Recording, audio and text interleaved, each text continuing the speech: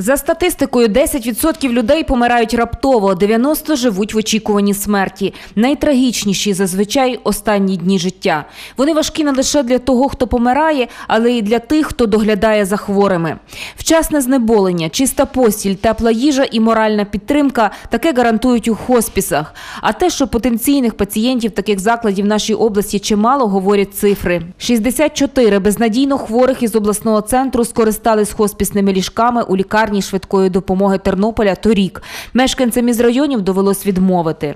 Якщо брати е, людей е, хворих стадії термінальні онкозахворювань, е, тих, що страждають на туберкульоз та СНІД, то щороку потребує хоспісної допомоги близько 2,5 тисяч таких хворих. Більшість із тих, хто ініціює створення хоспісної допомоги в нашій області, побували на стажуванні в Америці, Канаді і у Європі. Розповідають, заклади за кордоном прижилися і виправдовують себе.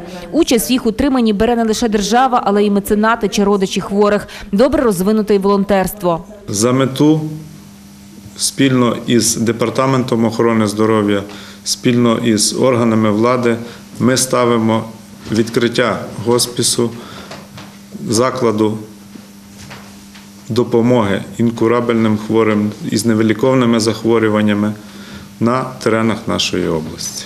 Е, Збудувати хоспіс ми не зможемо. Ми вирішили піти іншим шляхом, як організатори охорони здоров'я. Напрацьовуються матеріали по вивченню роботи тих лікувальних закладів, які ми маємо на сьогоднішній день. І от, власне, на базі тих закладів, які будуть звільнені від, від цих хворих, будемо створювати хоспісні е, такі варіанти. До справи створення хоспісів активно долучається церква. А напередодні дня хоспісної паліативної допомоги комісія УГКЦ у справах душпастерства охорони здоров'я звертається до духовенства монаших згромаджень, вірних УГКЦ та усіх людей доброї волі, щоб у цей день згадати у молитвах хворих і немічних.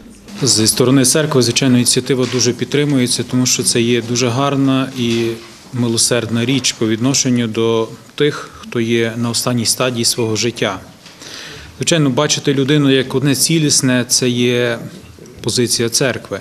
Звичайно, це фізіологічний, психологічний, але також і духовний, е, духовна сторона кожної людини.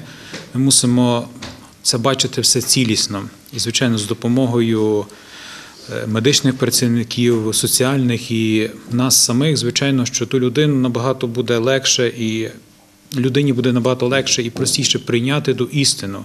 Священники переконані, про свою невиліковну недугу хворий має знати, щоб гідно підготуватись до життя вічного. Для живих і здорових створення хоспісів, сприяння їх діяльності – іспит на гуманність.